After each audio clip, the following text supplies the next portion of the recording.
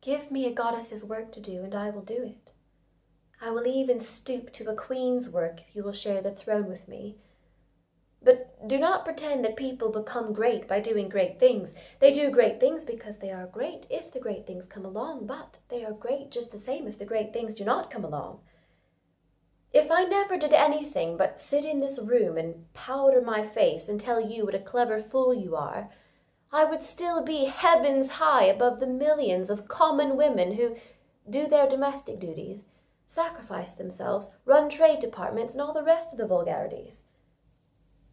Has any of the tedious public work you have done made you any the better?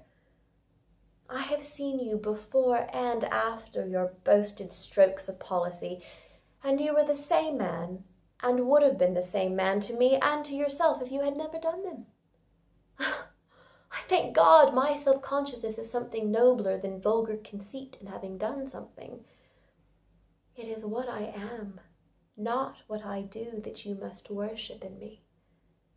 If you want deeds, go to your men and women of action, as you call them, who are all in a conspiracy to pretend that the mechanical things they do, the foolhardy way they risk their worthless lives, their getting up in the morning at four, working sixteen hours a day for thirty years like coral insects, makes them great. What are they for? These dull slaves? To keep the streets swept for me. To enable me to reign over them in beauty like the stars, without having anything to do with their slavery except to console it, to dazzle it, to enable them to forget it in adoring dreams of me.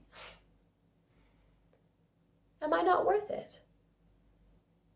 Look into my eyes and tell me the truth.